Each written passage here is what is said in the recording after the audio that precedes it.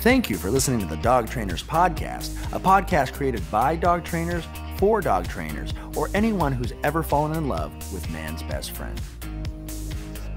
That being said, I want to I want to bridge that gap back to you, brother, and then let you go back on your on, you know. So when we were talking about yes, obviously any trainer worth their salt knows the the benefit of positive reinforcement work.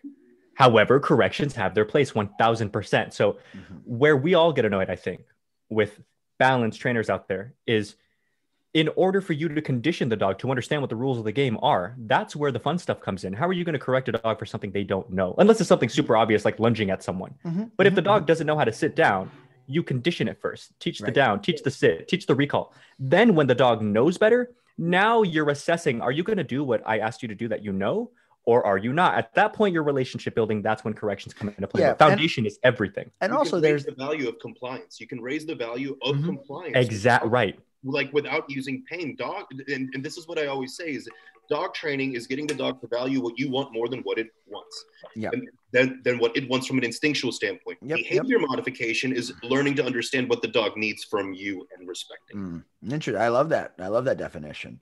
Um, one thing I, I, that i have an issue with is also the villainization of stress. Like oh stress is stress yeah. is not a bad thing. Stress is a necessary necessary component of growth right? Yeah. and there there are i mean there are uh, when you don't scaffold things properly you sometimes you can put too much stress on a yeah. situation but stress is important for adaptation uh, for dogs to learn things for people to learn things. Like there's no one who's successful that's never been stressed. There's no dog that has never been trained without having to go through so even in, in the in the r plus community it's like dogs have to go through stress and cycle through a behavior well, to figure out what needs it, to happen. it's i would go so far as to say it's inevitable because yeah, if you, if exactly. you don't the, the difference i think the difference between strictly positive because we were talking our, our last episode was with sarah bruschi and she's an amazing trainer. She does sport dog work and she does pure she's positive sport R plus work. all the way. And and and she's solid but she actually but she's realistic and she understands the value of tools. She does sports stuff. Every other person on the field does uh balance training even like her, her helpers and stuff like that. Like she she's she gets it. Um it was more just like a personal journey, which is cool. That's respectable, right? And her dogs sure. do well. Uh, my point being, and she was really upfront about this too. And if you're listening, I, I would think you know she would agree. Um, you can like a balanced trainer, regardless of all the nonsense that other people say about balance training. You have to stress the dog because any sort of change at all is going to be stressful by the very nature of what a mammal is.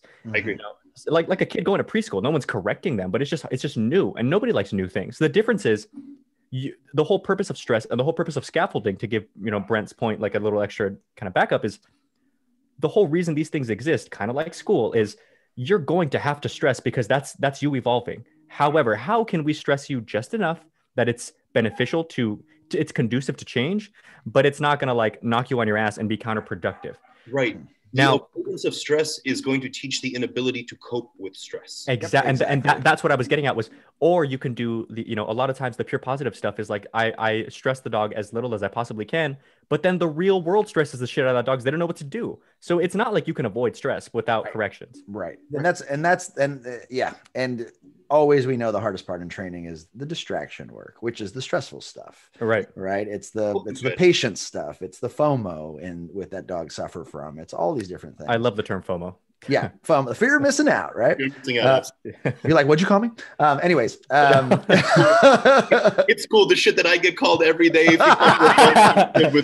you're a, you're, you're, you're a fomo. You're you're a fear of missing out here um, anyways, I wanted to go back in. I think we could shoot the shit on dog training uh, all day. yeah, all day.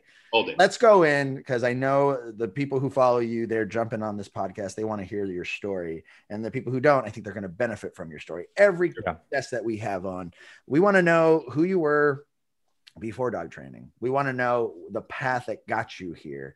So if this was a superhero origin story, give us the deets. Tell us um, how you got to where you are now.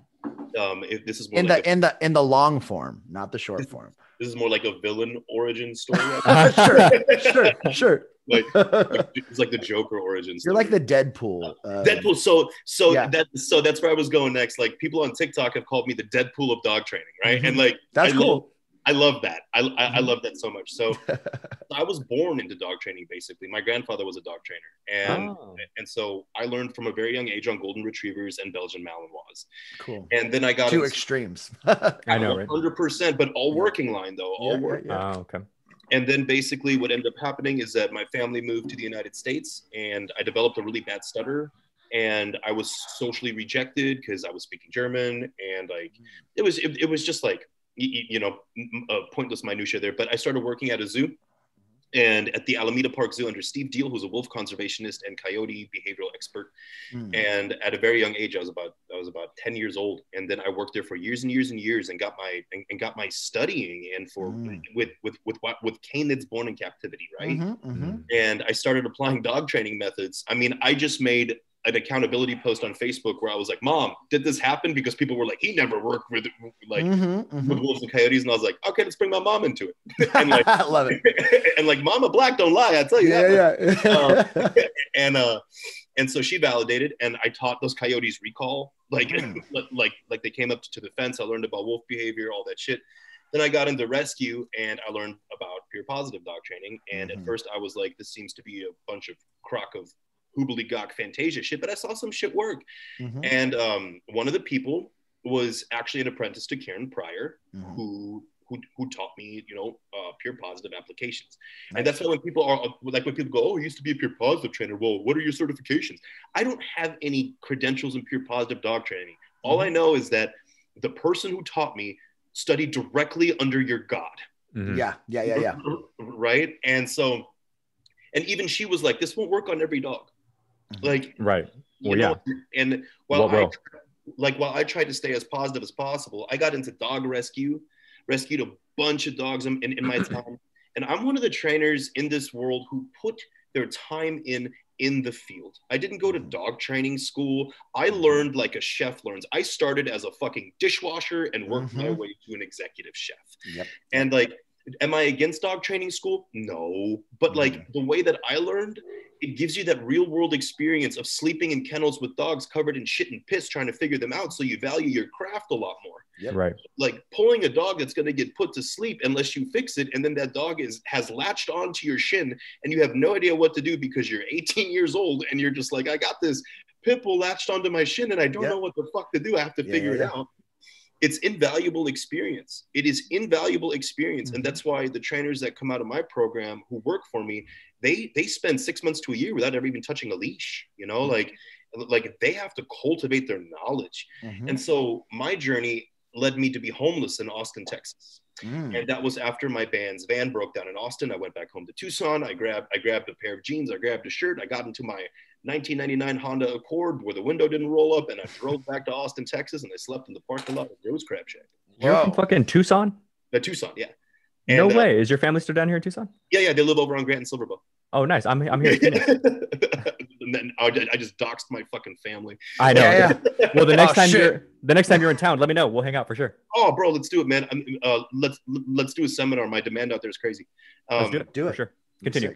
Yeah. So so like, um, I, I I rode back out to Austin, and then from there, I just um, I I I just fucking started betting people that I could leash train their dog. You're like bet, and, bet. and, I, would, and I would bet them a hundred dollars at, at, the lake, and people were like, "What the fuck?" And I was like, "Yeah, it's just leash pressure. You know, it wasn't even prong relying. Mm-hmm. It was mm-hmm. just collar right. relying and leash pressure were relying. Any any trainer worth their weight in fucking verbals can mm-hmm. fucking like mm-hmm. tr- train a dog to walk on leash with any buckle yes. and with any leash. yeah, or with any collar and any leash. And so, mm-hmm. you know, the legend of the homeless dog trainer spread. And I got an apartment mm. with my best mm. friend. I started bartending, driving Uber, building my business, and you know, got into fitness. Mm-hmm. And alongside fitness, the business grew. Mm. And you know, seven years later, we are a million dollar business, and um, excellent. We we are all five star a Yelp review business. We are the go tos in Austin, Texas, and I do seminars all over the country. I people flying me all over the country. I just got back from Virginia, where mm-hmm. we worked with three uh, pitties, and like it was awesome.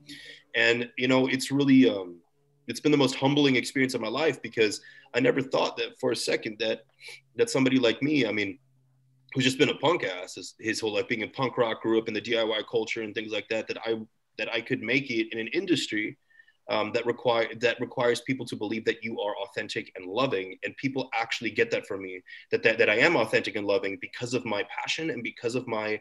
But it, it comes across as angry sometimes, but it's not anger. It is it is just the passion and it's frustration because. Yeah because what I want to get across to people is that you don't need to hire me. It's it's a lot easier.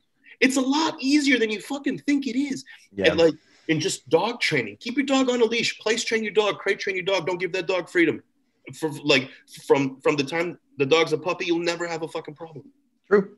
Yeah, it's like sta- stage by stage fundamentals. If you just did them, if you could just put in, you know, uh, 45 minutes a day, like cumulatively, not even at the same time, like your just your lifestyle.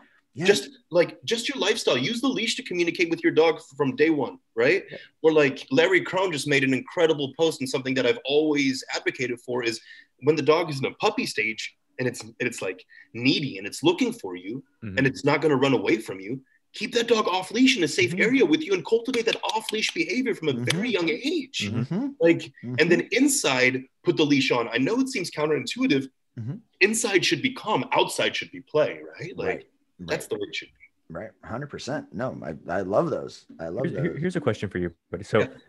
as we go through your story, tell us a little bit about who your mentors are because, of course, from just from a dog training perspective so your grandpa was a dog trainer so i'm sure to a large degree he he played a big role in like shaping you but but just as a person and, and we're definitely want to get into your online presence and why you kind of took the route that you did with you know with how you come off online talk to us about any other mentors even if they're not necessarily in the dog training world just who do you look up to there's a gentleman by the name of chad williams here, here in Austin, Texas. He's a former uh, Special Forces pararescue PJ um, from the Air Force. Um, I was gonna say he's a. I, I was Air Force too. Go ahead. So my dad was Air Force. He was he was helicopter maintenance in rescue. Oh, sweet. And, and so like he was with the 40 the 45th the Jolly Green. Okay. okay. And um, so like he definitely believed in me. Uh, my mom and dad are huge mentors of mine. Um, but in dog training in particular, the trainer who believed in me um, more than anybody, and you guys and you guys should check him out. Um, is Danny Wells from Unleashed Canine Services in the UK. Danny um, he is he's he's the top trainer there.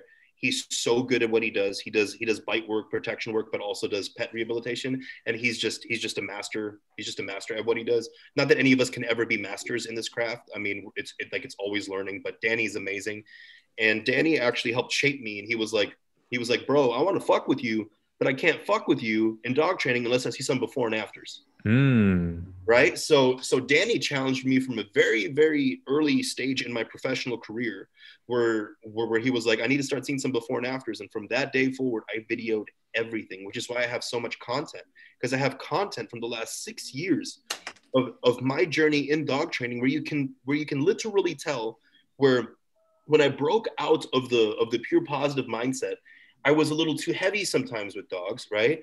And then the pendulum just, always swings. Yes, you know, the pendulum always swings. You can see the growth in my journey, and like it's it's it's fascinating to myself to be able to go back and with a with with, with a critical eye be like, I would not like that today. Mm-hmm. Today, yeah. Mm-hmm. You, you, know, and and I just love that I have the before and afters, but it also shows me that before and afters can come from very many approaches because I've used mm-hmm. a lot a lot of approaches. Um, right from Larry Krohn, from Tyler Muto, who's a hobie of mine. Like I love Tyler. He's dope. He's like, dope. I just texted him this today. I love that guy. Tyler's baby Buddha, he, and like yeah, man, he he answers all your questions. Anything, yeah, he's dope. He's just, he's just one of the patron saints. You know what I mean? Like mm-hmm. like he's so good, and he he's he, he's a homie that I'll always throw it back to. Like I know we got some mm-hmm. gatekeepers in mm-hmm. in the in in this industry, right? It's my goal to break the wheel on the gatekeepers because fuck mm-hmm. gatekeepers. Right, um, right, right. But Tyler is one of those trainers because he stays so in his own lane and he does his own thing and he's so just like so zen that mm-hmm. whenever you get an approval from Tyler Muto, it means the fucking world because he True. doesn't think because he doesn't think the world of him and he of, of himself. Right. And um, when when I was coming out of my pure positive shell, his videos on YouTube, mm-hmm. they they just blew my mind. Mm-hmm. Like blew my mind. And then here in Austin, I started to apprentice because I was very anti e collar until like five years ago. Truly, mm. Right. I was using prongs and slips, and I thought you never would need to use an e-collar. And then here in Austin, Texas, I apprenticed under somebody who use who uses e-collars. And the reason why I don't name names is because of my controversial presence. I don't want to get anybody like in trouble for being associated with me because there are a lot of big names, big names who you guys have already mentioned mm-hmm. that can't that have told me we love you, but you bring too much too mm. much bullshit to the too table. Much, yeah, yeah, yeah. And, and it has nothing to do with the balance side. It has to do with the fact that I troll right. the pure positive side. Mm-hmm. And like they don't want to get doxxed. I just got doxxed on TikTok. Some dude exposed my address. Mm. You know, like, mm. and like it, it's just like, what the fuck is wrong with you? Like, right. we can you not be witty and show me results with dog training? No, you yeah. can't because you deflected into a bully. Mm-hmm, mm-hmm, right. Mm-hmm, mm-hmm.